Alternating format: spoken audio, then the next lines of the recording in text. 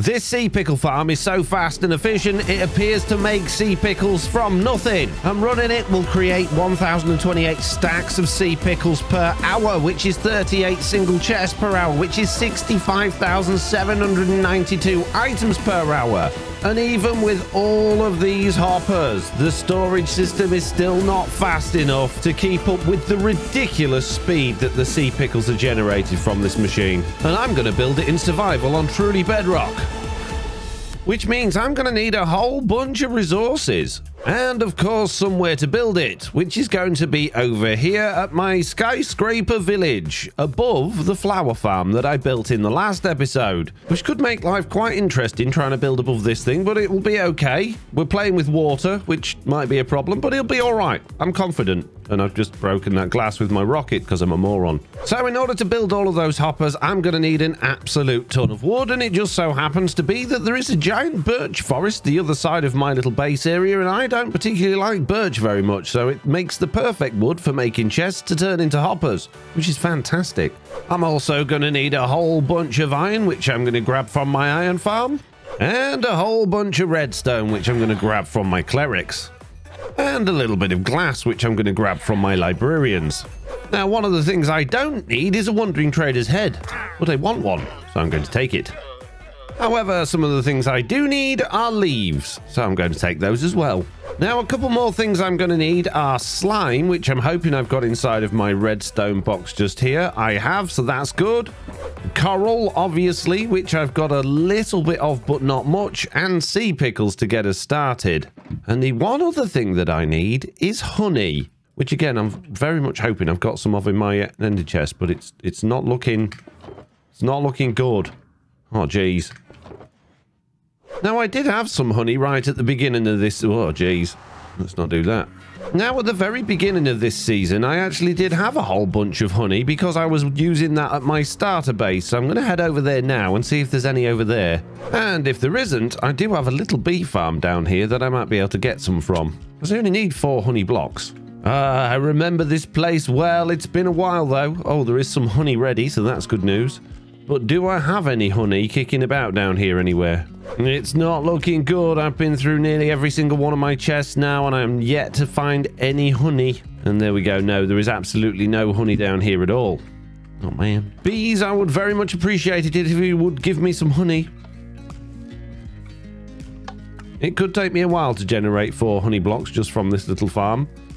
A little bit longer than I've got, perhaps. So, maybe there's another way. There's an area on this server that I happen to have neglected quite substantially throughout the course of this season so far, and that is this spawn area, where we have all of the shops and things. And there could well be honey for sale here. I have absolutely no idea. Apparently, there is a sea pickle shop, which, you know, that's great and all. I don't want to buy sea pickles. I want to make my own. But yes, I need honey. Where will I find honey? That's a bone shop, clearly. And this is a potion shop. And this is a rip-off gambling machine. And this shop sells prismarine. Oh, it nearly rhymed that. I could make a song. This shop is absolutely of no good to me at all. However, I see honey on these trees inside of this fancy place. What is it? And how do I get in? What a beautiful looking shop. Welcome to Miss Bee Haven. Beehives I don't need. Honey blocks, there we go. How much are they? Two diamonds. That's that's actually very reasonable. I shall. Oh, and there's an ender chest here as well. My prayers have been answered. Just so happens I have two spare diamonds here. I shall take the honey blocks. This is fantastic. So there we go. In this box, I have just about everything I'm going to need. Ish, sort of. I'm sure there's a bunch of stuff I've forgotten, but that should get us on our way. And whatever I haven't got in there, I'm sure I can find in my ender chest. So it's time to go home and start building an epic sea pickle farm. Okay, so back at our building site, the first thing I'm going to need to do is build a platform above this thing so we've actually got something to build off of. Which I'll probably just make out of smooth stone for now because I have plenty of that to hand. And with that now in place, I have a nice area to be building this thing. I could really do to find the center. And I think that center there that center there, which means our center is there. Perfect. So first of all, I'm going to need to craft an absolutely ridiculous number of hoppers, which means turning all of this tasty birch into planks. and then into chests. And now I have many hoppers and a handful of chests as well. I'm also going to need a bunch of trap doors, which fortunately I already happen to have quite a few of those kicking about, which is good because now I'm just about out of wood again. What are you looking at? Nothing. You are. You're looking at me again. What? What? What's your problem? You keep building stuff in our little village. I'm modernizing you, mate. It's going to be an amazing, futuristic skyscraper town. We don't want modern. We like tradition. Oh, shut up. And realistically, I think that's about it in terms of ingredients that I'm going to require. I'm sure I've forgotten something, but I, I really do think that's probably all, everything I need. At least I hope it is. Apart from bone... Oh, yeah, sea pickles and coral and bone meal. I have no bone meal because I've used it all. Although there might be still some still in here. There's a bit in there. Okay, good. Excellent. Okay, I'm going to start at the bottom in order to make my make it easy to work my way up. So I'm going to start with my output chest here I guess. In fact, what I'm going to do is I'm going to have two output chests on this. I'm going to change my design already from the original. And underneath that, what I'm going to do is then have another chest there. And that's going to be our final output chest. Because this farm is ridiculously fast and spits out more than you could possibly ever imagine. And I'm tempted to actually raise all of this up a block. So I've actually got some space underneath this thing for other things later on. So yeah, let's do that. Okay, so out of the back of each one of these chests, we're going to have a couple of lines of hoppers. And these are going to be four hoppers long like that. However, the last one on each end needs to actually face into that one. So that's one hopper line and that's the second hopper line. I'm going to do the same thing over here. So get rid of that one there and have that pointed into that one. And there we go. We've got a couple of hopper lines on each side now. And at each end of these, now that we've got two hopper lines, I'm going to need a lot of hoppers going into those like that. Are you with me so far? It's going well, isn't it? Okay, next then, we're going to have a double chest on top of that one there. And a double chest on top of that one there. And if you think we've used a lot of hoppers already, we barely even got started. Because coming out of each one of these chests, we then need another six hoppers. And that's going to face into that one there. So we've got one hopper line there and one hopper line there. Both feeding into that chest. And they're going to have another load of hoppers on. And this is going to happen on each side. This is ridiculous. Why don't you use hopper minecarts? They're faster. Well, technically, yes, but fitting them into this system, well, I, probably possible, but I didn't. Yep, shut up. It's fine. And with all of these in place, it's just a case of sticking on four more chests, on four more pillars of hoppers like this. And now we're nearly done with all of the hoppers. However, I don't want to put any more in yet because the middle of this thing is quite complicated to build with the pistons and stuff like that in place. So I'm going to try and figure out that. Now, bear in mind, I built this in creative. I designed it in creative. I've no idea how to build it in survival, so I'm winging it. So if the instructions I'm giving you right now are wrong, it's kind of not my fault. You should plan better. You should organize. Oh, shut up. It's fine. Just look, just look what I, look, it's fine. So first of all, we need a space to put our pistons on. And there are four pistons in the middle of this thing. And unfortunately, it doesn't have a two wide middle because it's got a one wide middle, which is a little bit annoying, but it's not the end of the world. What I'm going to do is make a three by three platform like this. And then on here, we're going to have four sticky pistons like this. Not like that. No, that's wrong. Like this. And then on top of those, this is where our slime and our honey comes in, you see. So we're going to have a, a honey block there and a honey block there and a honey block there, and a honey block there. And I've just realized all of this is completely wrong. It's all wrong, guys. I've done it wrong. All of that needs to be over by another... Oh, jeez. Yeah, I told you I was going to get it wrong. In fact, it's not all of that. It's all of that needs to be... Oh, oh jeez. Another block over. Otherwise, me slime's going to stick to me hoppers, mate. So once you've got all of this in place, then smash all of this stuff that you've done to bits and rebuild it all.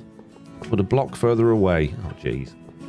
And there we go. I have rebuilt it all, but a block further away. Right, let's get rid of these temporary blocks that I've put down there. So the reason we're using leaves is because leaves can be waterlogged and they also can't be stuck to by slime or honey, which makes them incredibly useful for what we're doing to today. I love building in survival. It's great. So I've surrounded that by leaves on one block, and I'm now going to surround it by leaves another block up, like so.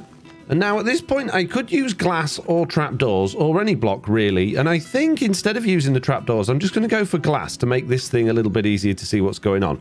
So what I want to do is put glass on the outside of all of these leaf blocks at this level so that when I waterlog them, the water's not going to spill everywhere. Now, I don't need to do the leaves lower down. They're just literally there to stop the water pouring out of these leaves above. So with our platform already looking kind of snazzy, what we need to do now is look at where we're going to put the rest of the hoppers in. And I have a bunch left. I don't know if it's going to be enough. Hopefully it will be.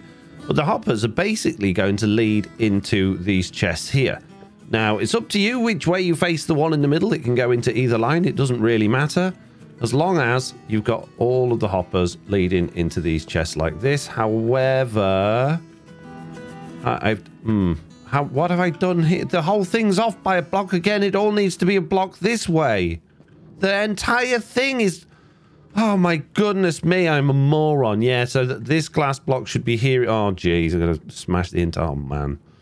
Don't do what I do, guys. Do do what I've done at the end of this video. Not don't follow it through. Oh, jeez. Yeah, so smash it all to bits again. And then rebuild all the stuff you've just painstakingly done over all that. Oh, jeez. You're really good at tutorials? No, I'm not. Shut up. Don't you patronize me, you pest. I was being sarcastic. I know you're being sarcastic. Okay, I have just about rebuilt everything back in the place where it should have been in the start, which it wasn't, but it is now. So I'm just putting the glass back in to stop the water seeping out of the leaves, which I haven't put in yet. And now we can get back to doing these hoppers. So, like I said, we got a couple of hopper lines going those ways, and they are both filtering into these chests. And we're also going to have a hopper there filtering into that one, a hopper there into that one, a hopper there, and a hopper there. And then we also need hoppers going into these chests from the end, like that, on both sides.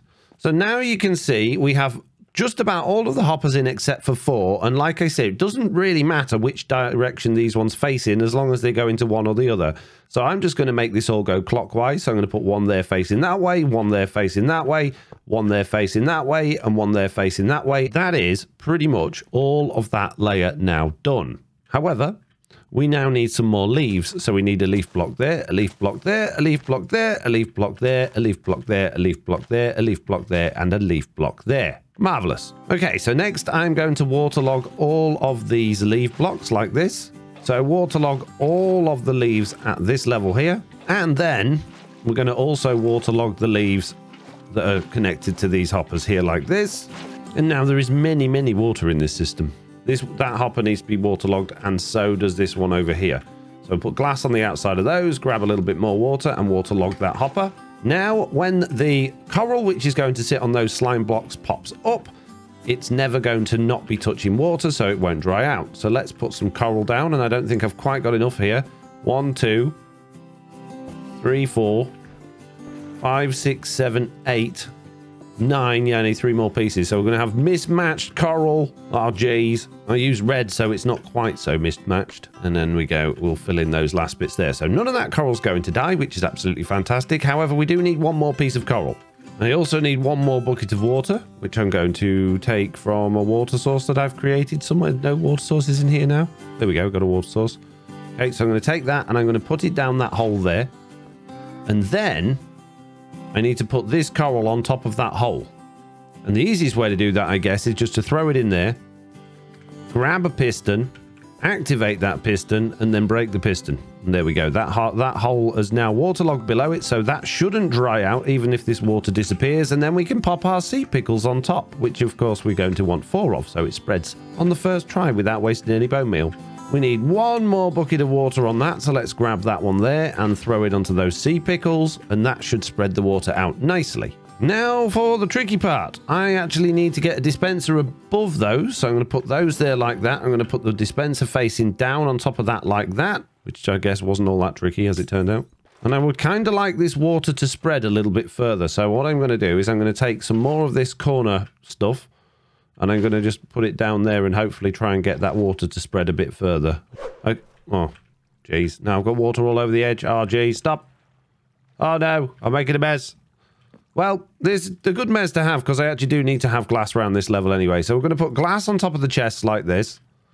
Glass along that front line of hoppers there. Glass on those chests like that. And it doesn't need to be glass. I just like to use glass because it's see-through so you can see what's going on and then glass on that chest there. And that should be the whole thing surrounded by glass. And thanks to my amazing waterlogged leaves and waterlogged central bit, None of that coral died because it's always touching water. Fantastic.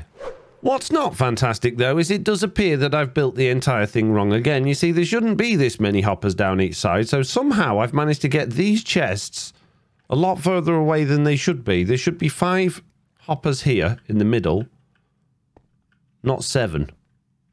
So the chest should go there and there. How do I do this? Oh, man. Okay, so smash those ones to bits like that and put a chest there. Bit of glass on top of it there. Jeez. See, this is the problem. When you build it from the bottom upwards, it's difficult to know where everything should go. If I built it from upwards down, then it would have been a lot easier, I think. But, you know, we live and learn. So now what I need to do is remove that um, leaf block and put a hopper there. That's it. This is looking more like what it should do. Jeez. Should also check the screenshots that I've taken more regularly. I wondered why the water didn't seem like it was spreading properly. So now these three hoppers are in totally the wrong place, which means these three hoppers are in totally the wrong place. And I've run out of hoppers. Good. Which means the glass should go across there like that. Jeez. What a mess I've made of this thing. And of course, that means all of this below is in totally the wrong place as well. So I'm going to have to smash all of these hoppers to bits. I'm so sorry, peeps, if you were following this along and thinking, oh, yeah, I can do that. And then, uh, then I've gone and done this, haven't I? I told you there'd be water going everywhere. This is exactly why I wanted to put that roof above the fowl farm below. However, I think that... Oh, dear. Yeah. Mm-hmm. Oh, goody. It's all going rather well. Okay, the top section is now how it actually looks in my screenshots, apart from a couple things. So I was right with the leaf blocks having to be up at this level like this. However, I didn't quite get them in the right place before. So the leaf blocks go like this. And they want to be waterlogged as well. Oh, and look, a wandering trader has appeared again. Hello, sir. How do you like my axe, mate? I guess the good news about rebuilding all of this is that I'm going to have substantially more hoppers available at the end of it all, which is nice. But sometimes it would just be nice to get it right first time, you know? But at least this way you might be able to see how I'm actually connecting all of this a little bit more obviously. And the last chest to go in, one hopper there, one hopper there, and then this one comes round to here like this. So now, there we go. That's everything back in, and I do have a few, not that many more, but a few more hoppers left in my inventory. I've probably got a bunch of stuff in here as well, I have. And I got a whole bunch of blocks that I placed that don't need to be anywhere. So good news, we are now 99% of the way there. All that's left to do, really, is the redstone clock system and the dispenser disposal system, which is, well, that's the easiest thing to do because all we're going to do with that is we're going to pop a hopper there and we're going to put a chest on here for our bone meal. That's nice and easy. We want a solid block in front of that dispenser there, and then we're just going to bring some glass out across here like this. There we go. And now we just need our clock system. And the clock that I'm using for this is the easiest clock you have ever seen. It's absolutely great. And I am going to use a couple of slabs here because I don't want to activate these hoppers uh, while the redstone's going on, blocking them from being able to transfer their stuff. I'm going to grab these slabs and put those slabs there like that. And that's going to mean I can run the redstone line around there without affecting those hoppers. So redstone, it couldn't be simpler. Literally, all you got to do is just put it next to all of the pistons, which is hard because scaffolding sucks. So all the way around there like that. And then just make sure if you go around this side, that the back side of this piston gets it in as well. That's all of the pistons linked up to the redstone. And this thing is going to have the easiest yet one of the fastest redstone clocks money can buy. So we have a couple of solid blocks with redstone dust going on there. I'm going to remove that there and fall off it apparently. Great, thanks. I, I didn't want to... I hate scaffolding so much. It's so dumb. You was connected to scaffolding. Right, I'm going to use solid blocks as temporary blocks because they're more reliable. I'm going to put a sticky piston there. And then what I'm going to do is I'm going to grab this lever and I'm going to power that redstone line because I don't want this clock to start yet, which does mean my pistons have now gone up. And as you should see when we go up here, the coral below has now popped up to be in line with the sea pickles. And that means it's still underwater, so it's still not going to die. Right, on top of that sticky piston, we're going to put a redstone block, like so. And then, next to this redstone block, we're going to have a piece of glass there. And no, it's not. It's going to go a block down. Next to the sticky piston, we're going to have a piece of glass. And on here, we're going to have some redstone dust. And we're going to build a little redstone dust glass tower so that we can get the redstone all the way to the top nice and easily. And we want it to stay in sync with the pistons, so we don't want to be adding repeaters or torches or anything like that. We just want to use a nice solid redstone line, just like that. There we go. That is the redstone 100% done. So if I was to put bone meal in there now, the system's finished. Let's check it out. Let's steal some bone meal from the farm below, which is now totally broken. And let's hop back up to the top put our bone meal in this chest watch it filter through nicely into the dispenser. Then all we need to do is flick the lever on and that is it. We have a sea pickle farm that grows sea pickles so fast you don't even see them appear. And they are now filtering all into these hoppers, filling up these chests, which are filling up those hoppers, which are filling up these chests, which are filling up these hoppers, which are filling up these chests. And look how incredibly quickly those sea pickles. It doesn't seem as quick on this one as it did on the server. Are we getting backlogs already? How am I getting backlogs? Okay, let's find a way to do to get rid of these backlogs then. We're going to use some more chests and some more hoppers. And as you can see, we've got all of those hoppers just going into one double chest there. So what I'm actually going to do here is instead of having this dog leg round there like that, I'm going to have that hopper line continue down there and have that one go straight into it there. And I'm going to get rid of those hoppers there. And I'm going to put another double chest facing that way and then have hoppers coming straight down from that into that line. So we've now got two double chests worth feeding down into this line here, which should mean things are coming through there a bit quicker. And I'm going to do exactly the same thing on this side. So let's get rid of that one there and make it face in that direction. And then let's get rid of those there. Put a chest in there like that. And then hoppers coming down from that chest into that line. So we shouldn't get any backups going on up there now. We probably will start getting backups. Yeah, you can already see there's massive backups in these two chests here. And of course, that's why it doesn't seem as quick because on my redstone testing world, we didn't have this split down here. It was all just going into a single chest at that point there. Now, we could make that go a bit faster by doing that there and doing that there. And that should make things go substantially quicker coming in. Now, one thing to keep your eyes peeled for, although I didn't have any spillages on my redstone testing world, to see if P sea pickles are actually popping up onto this glass and popping over, because they do tend to jump up a fair bit. Now, like I said, I didn't experience that in my redstone testing world, but it's not impossible it could happen. And if it does happen, the easiest way to get around that would just be to put more glass around this level here. You would get rid of that redstone and put that up there instead. And yeah, we can do that just to be on the safe side. But now you can see this farm is running at maximum efficiency. And I don't think that you could get Sea Pickle Farm any faster than this. And the reason for that is the Sea Pickle growth, we've got a dead piece of coral.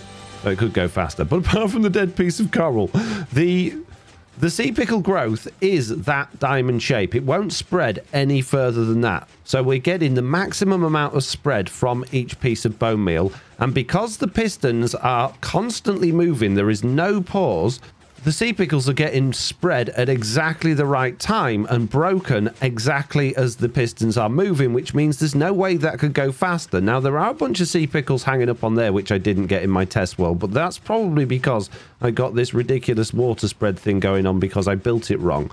So let me turn it off.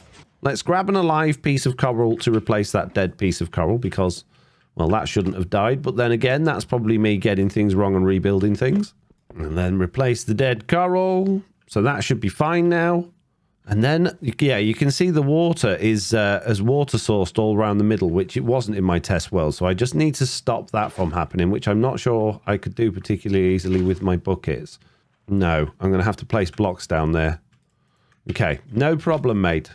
Okay, so I've removed all of the flowing water from the top section now. So when I smash this glass, it should actually flow correctly this time rather than being all over the place which we'll see in a second.